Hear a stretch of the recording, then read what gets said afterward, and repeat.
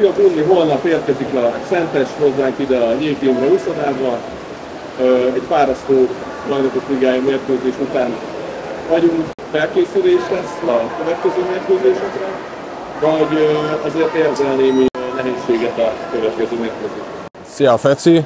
Hát nyilván nem lesz könnyű mérkőzés, mi ahogy mondtad, hogy majd a ligája mérkőzés után vagyunk, és hát mindent bele kell adnunk abba, hogy jól felkészüljünk, ugye már ez, ahogy mondtad is a, előzőleg, hogy ez egy felkészülés lesz a Magyar Kuba 4-es döntőre, és hát nyilván a célunk az, hogy a három pontot megszerezzük és itthon tartsuk, és hogy jól felkészüljünk a Magyar Kuba 4-es döntőre.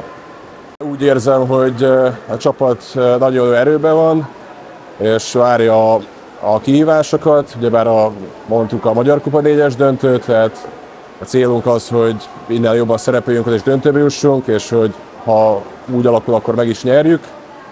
És hát, hogy a BL-be is jól szerepeljünk ki az itthoni meccseken majd az elkövetkező hónapban.